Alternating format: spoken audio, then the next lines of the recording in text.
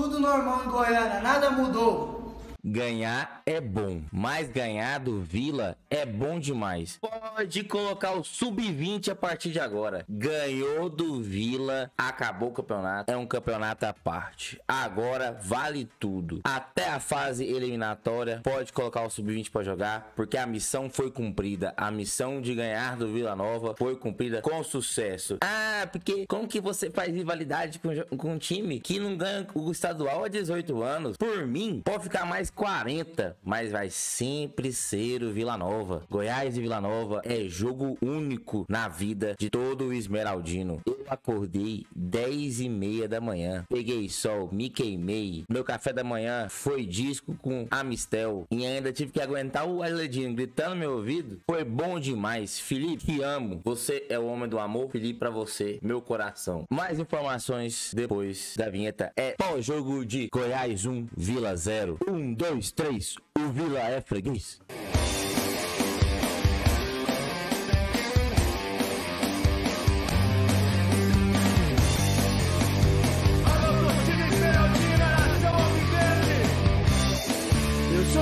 Sou Goiás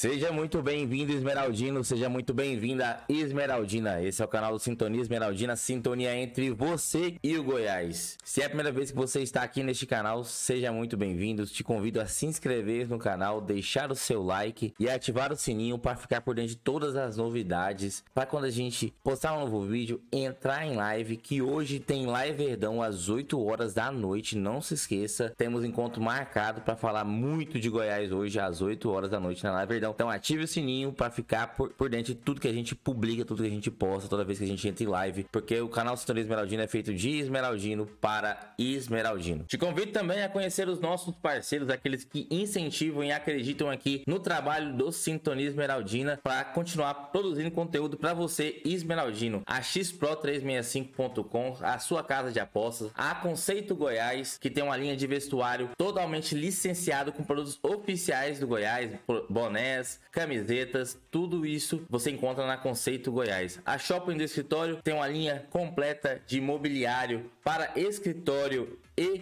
também para você que faz o seu home office e o Portão 62, que é um espaço totalmente temático dedicado a esporte, para você assistir aquele jogo de basquete, futebol, futebol americano com seus amigos, um espaço totalmente temático dedicado ao esporte aqui em Goiânia, fica lá no setor Marista, próximo ao Bahrein. Começando mais esse vídeo, esse vídeo, cara, como é bom, como é bom gravar um vídeo depois de um Goiás e Vila. Como é bom ganhar do Nem o melhor roteirista poderia escrever o cenário do jogo de. Arbitragem ruim e um golaço, uma sapatada no meio de campo ali, ó.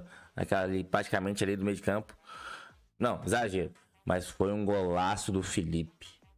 E antes mais nada, pedir desculpa pelo vídeo não ter saído. Acabou, acabei pegando o sol. Tô gravando no domingo à noite. Acabei pegando o sol durante o dia. Tava muito cansado. O jogo foi muito pesado e tudo mais. Recuperando do, arco, né? Do álcool que a gente bebeu ontem. Que é hoje, no caso, mas eu já tô de boa. Tô gravando aqui pra postar na segunda-feira. Mas, então, Goiás 1, Vila 0. Na Serrinha, às 10h30 da manhã. E o sol tava daquele jeito. E o Felipe também. Jogou, dono do jogo, fez o gol. Foi maestro, assim como foi lá em Porá. Cara, Felipe sobra na marcação, na distribuição de jogo. Cara, como. Goiás que foi a campo aí nessa escalação em ordem numérica com Tadeu, Lucas Halter, Zé Ricardo, Lucas Halter ou Lucas Alter? Zé Ricardo, Sander, Vinícius, Nicolas, Diego Gonçalves, Ian Souto, Felipe Ferreira, Julian Palácios e Bruno Melo. Goiás aí que em tese foi num quando estava com a bola, né? Tava no 4-4-2, né? Com Tadeu, Halter e Bruno Melo, Sander na lateral esquerda e Anson na lateral direita, Felipe e Zé Ricardo e Palácios no meio de campo. Palácios jogou com um 10 e Vinícius Diego Gonçalves, Vinícius na esquerda, Diego Gonçalves na direita, mas eles alternaram durante o jogo e Nicolas. Aí eu fiz um desenho aqui de como o Goiás se portava com a bola e sem a bola. Quando o Goiás tinha a bola, Goiás se portava da seguinte maneira: o Halter ficava aqui na sobra centralizado, o Felipe centralizado também no meio, o Bruno Melo e Ian Souto abriam, né, para dar amplitude ali pro time. E o Zé Ricardo e o Palácio se enfiavam aqui nesse espaço aqui. E o Sander ficava aqui como um ala, um lateral esquerdo mesmo. Vinícius ia com Salves em cada ponta e o Vinícola centralizado. Note por que, que eu deixei esse aqui foi proposital. Porque esse lado direito do Goiás, que é o defeito do Goiás, já falei aqui em outros vídeos sobre essa deficiência do Goiás sempre do lado direito. E aqui no lado direito, Ian Souto estava sozinho. Sozinho por quê? Porque quando em alguns lances é, o Zé Ricardo não estava.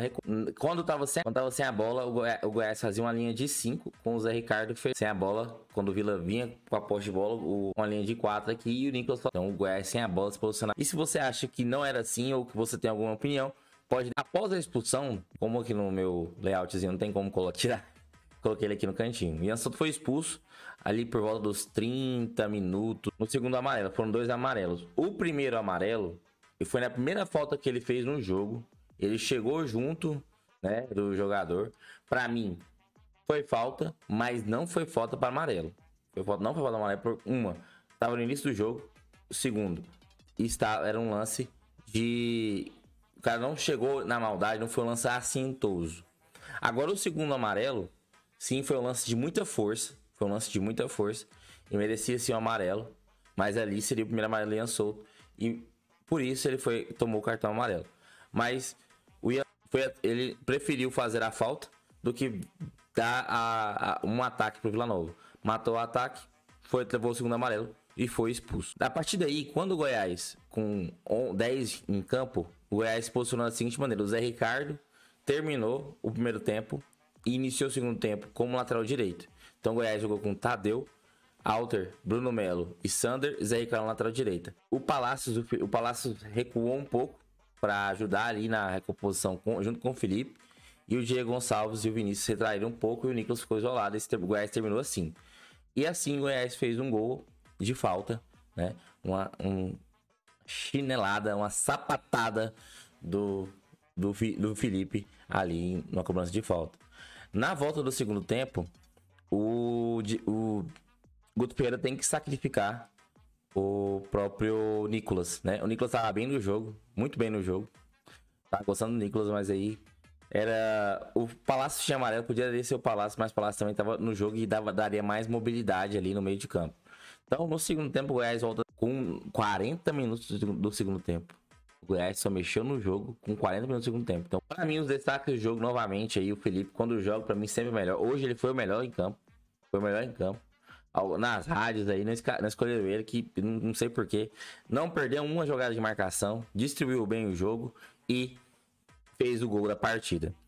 O Palácios, novamente, destacando, é um jogador que tem tudo para ser um destaque da temporada, um destaque aí. A torcida tá abraçando aí a raça do argentino.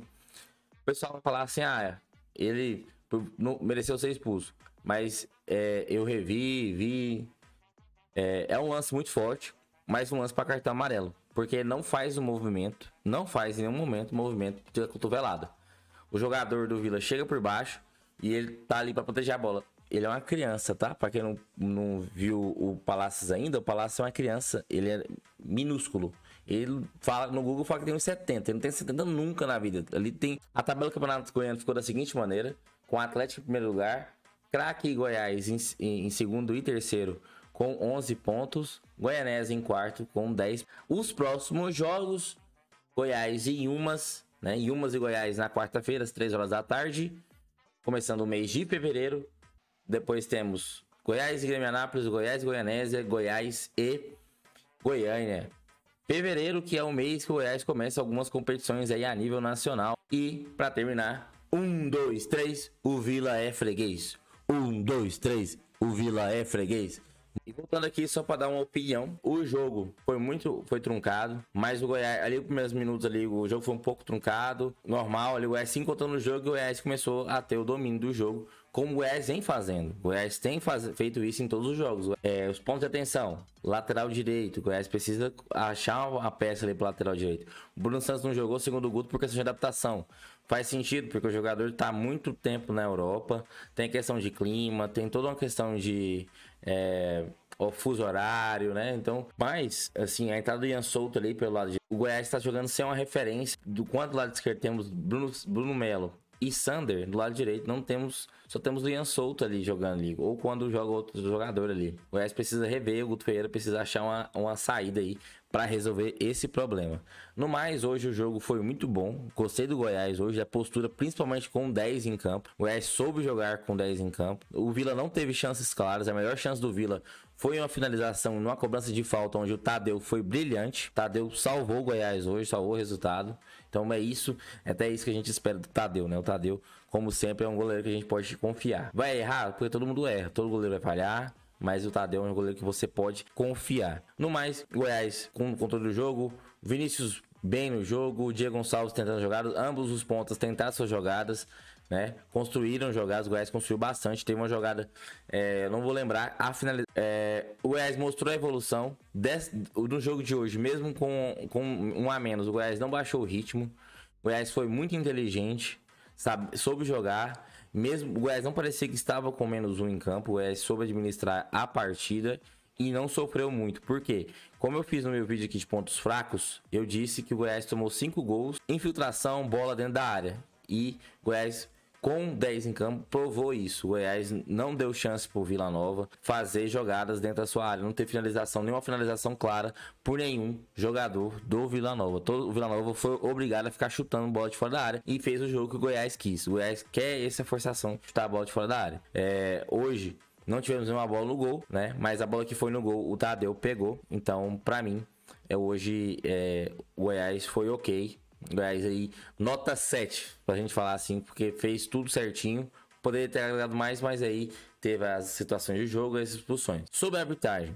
A arbitragem do jogo já foi questionada antes do jogo por ambas as torcidas no nosso pré-jogo aqui, na live pré-jogo, com a torcida do Vila Nova, com a pessoal da bancada, bancada colorada, ambos nós criticamos a escolha, né? Osmar Moreira distribuiu o cartão amarelo, faltou critério para ambos os lados, tá? Para ambos os lados. Teve um lance com o Sander em uma cotovelada que o, que o árbitro não, não, não deixa o jogo passar com 3 minutos, sendo que, por exemplo, o Zé Ricardo tomou amarelo contra o Atlético com, com 3 minutos também. Um lance semelhante. É, teve o, o, o, o, árbitro se bananou, se bagunçou ali, aí acabou, dando, né? Sendo que era falta pro Vila Nova. Compensou com uma falta. Era um árbitro que a gente sabia que em qualquer momento ele ia expulsar um jogador do Vila. Em qualquer momento do jogo. Em qualquer momento do jogo ele ia achar uma expulsão pro Vila Nova para compensar. O cartão amarelo que ele deu pro Palácios, né? Não, Palácios não, perdão. O cartão amarelo que ele deu pro Ian Soto primeiro, quem, deu, quem na hora das confusões, os jogadores empurrando até o próprio árbitro. Então, para mim, é, deixou a desejar. Para mim, não foi uma arbitragem é, que me deixe contente não gostei da arbitragem, apesar de sairmos vitoriosos. A torcida do Vila Nova tá chorando. O Jorge Bravo falou que o Goiás foi favorecido, que já o Goiás já vinha fazendo pressão. Mas engraçado que o Goiás, prejuízo, né? Tem um a menos em campo e passou. O, o jogador do Vila, do Goiás, foi expulso aos 36. O jogador do Goiás, do, do, do Goiás, do, o Ian Souto, foi expulso aos 36 do primeiro tempo.